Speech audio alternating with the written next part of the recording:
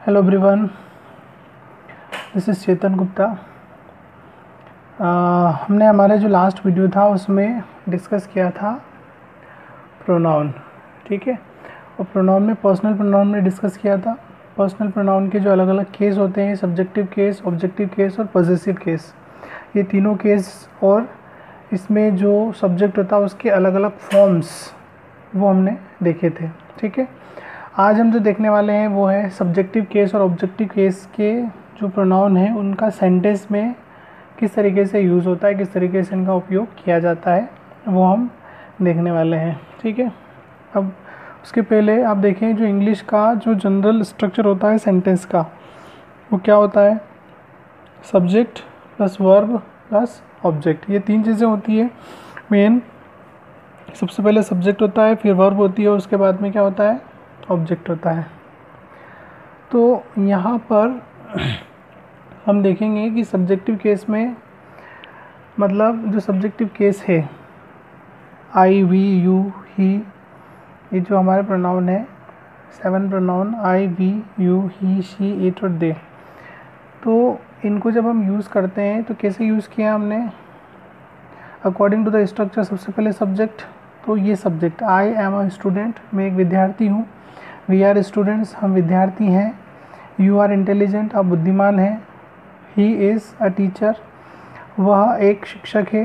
She is house wife वह एक गृहिणी है। इट इज़ अ चाइल्ड यह एक बच्चा है बेबी है। दे आर ईटिंग फ़ूड वे खाना खा रहे हैं। तो यहाँ पर जो I we you he she it और दे का यूज़ हुआ है, वो कैसे हुआ है? सब्जेक्टिव केस में उपयोग हुआ है। ठीक है? अब इसको देखें आप ऑब्जेक्टिव केस में कैसे होगा?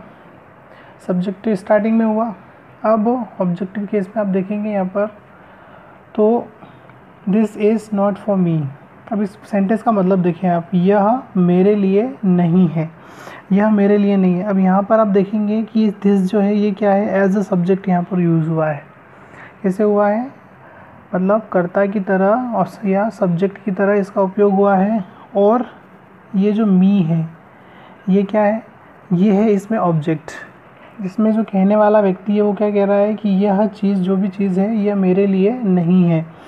तो दिस मतलब ये वो चीज़, वो क्या है? वो सब्जेक्ट है। और मेरे लिए नहीं है, मैं क्या हूँ? इस सेंटेंस में मैं क्या हूँ? मैं ऑब्जेक्ट हूँ। मतलब वो चीज़ मुझे मिल रही है, मैं ऑब्जेक्ट हूँ। ठीक है? आई बात समझ में आपको? तो ये जो मी है, वो कैसे हुआ है? ऑब्जेक्ट की तरह यूज़ हुआ है, इसलिए ये सब्जेक्ट और ये मी किसका फॉर्म है? आई का फॉर्म है। ठीक है? तो आई का जो ऑब्जेक्टिव केस है वो क्या है? मी है। ऐसे ही ही order ice creams for all of us उसने हम सभी के लिए आइसक्रीम मंगवाई ऑर्डर की। ठीक है? तो यहाँ पर ही जो है वो क्या है? सब्जेक्ट है। ठीक है? और फॉर अस हम सभी के लिए, ये क्या है? ऑब्जेक्ट ठीक है? मतलब आइसक्रीम जो मंगवाई गई है, वो किसके लिए? हमारे लिए है। ऐसे ही थर्ड सेंटेंस आप देखेंगे I brought water for you मैं आपके लिए पानी लाया। ठीक है? तो आई क्या है? आई यहाँ पर सब्जेक्ट है और यू क्या है? यू ऑब्जेक्ट है। I want to the I want to meet him मैं उससे मिलने गया। अब आई क्या है? एज अ सब्जेक्ट यहाँ पर यूज़ हुआ है। और जो हिम मतलब उससे। ये क्या है? ऑब्जेक्ट मैं किससे मिलने गया? उससे मिलने गया। तो मैं क्या हूँ? मैं सब्जेक्ट हूँ। और हिम क्या है? वो ऑब्जेक्ट है। अब हिम किससे बना है? हिम जो है हिम आया है कहाँ से? हिम आया है ही से। ठीक है? ये ही का ऑब्जेक्टिव केस है। तो ये हुआ आपका ऑब्जेक्टिव केस में ही का यूज़ ऐसे ही principal called her to the office principal ने उसे, उस लड़की को कहाँ बुलाया? ऑफ़िस में बुलाया, कार्यालय में बुलाया, ठीक है? तो ये जो प्रिंसिपल है वो क्या है? प्रिंसिपल इज़ सब्जेक्ट हियर और हर जो है वो क्या है? वो ऑब्जेक्ट है, उसे बुलाया, ठीक है? और हर कहाँ से आया? शी से आया। हम यहाँ पर शी का यूज़ नहीं कर सकते। Principal called she to the office, ये नहीं होगा, है ना? ये गलत है। सही क्या होगा?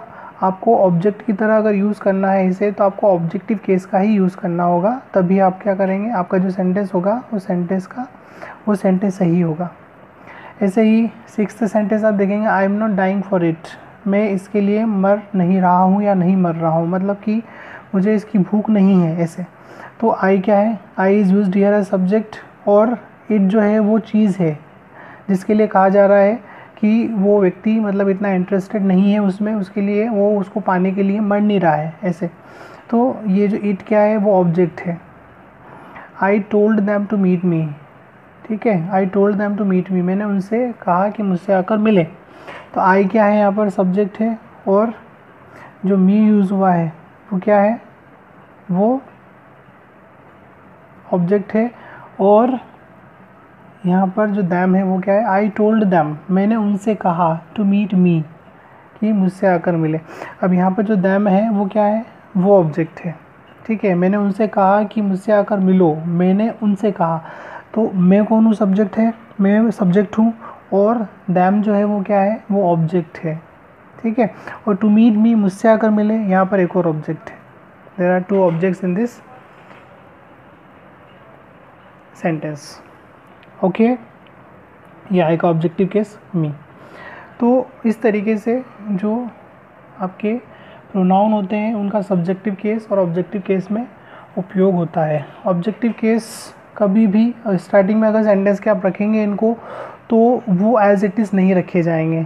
ठीक है? अगर आपको मी को यहाँ लेके आना है तो आपको उसे आई बनाना होगा। अस को अगर आप लेके आएँगे इधर तो उसको वी बनाना होगा। ठीक है? मतलब ऑब्जेक्टिव केस को हम सब्जेक्टिव केस में यूज़ नहीं कर सकते एज अ सब्जेक्ट हम उसको यूज़ नहीं कर सकते। अंडरस्टूड तो ये था आपका आ, जो सब्जेक्टिव केस है और ऑब्जेक्टिव केस में प्रोनाउन का use in sentences thank you